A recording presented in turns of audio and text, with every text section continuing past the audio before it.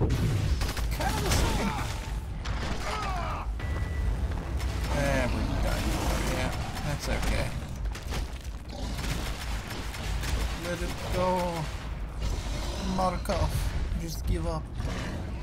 This is Dmitry Markov. Please surrender. Surrender. There's no point in delaying the inevitable.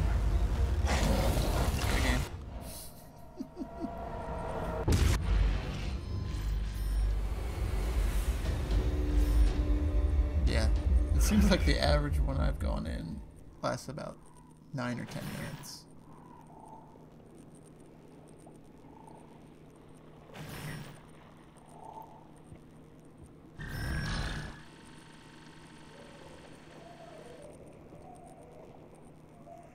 Nice. I'm gonna go ahead and have to.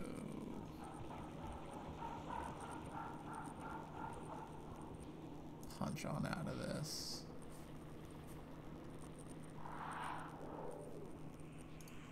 Yeah. Yeah. That's. you know. So, played for 45 minutes.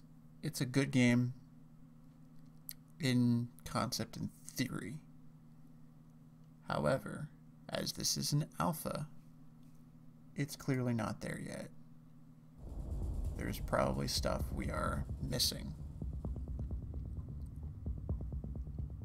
And it'll be fixed, or, no pun intended, evolve over the next stages of the game.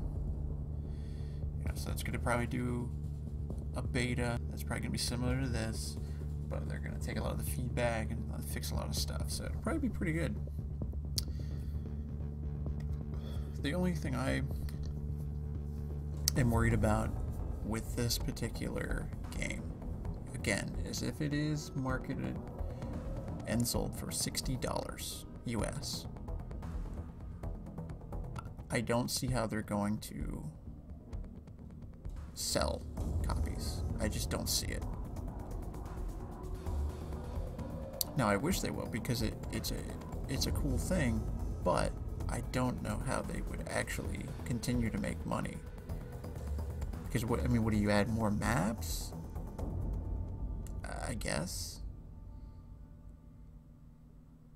I don't know. I mean, it's kind of limited because it's four people against one monster. So the max is five people in at a time. That's fine. It's just, it's kind of limiting. And you have to kind of weigh the options. Like, how many maps are there going to be? Is there... I hope it's not like a single player. That that might be a little weird. Um, it's always weird when games like this release single players. They just don't fit. But the, if they don't add a single player, the price has to reflect it. So all in all, pretty interesting game. I'm not going to play it anymore tonight because apparently there's some input lag and it's it's getting me killed. So that that's pretty much where It's it's pretty good.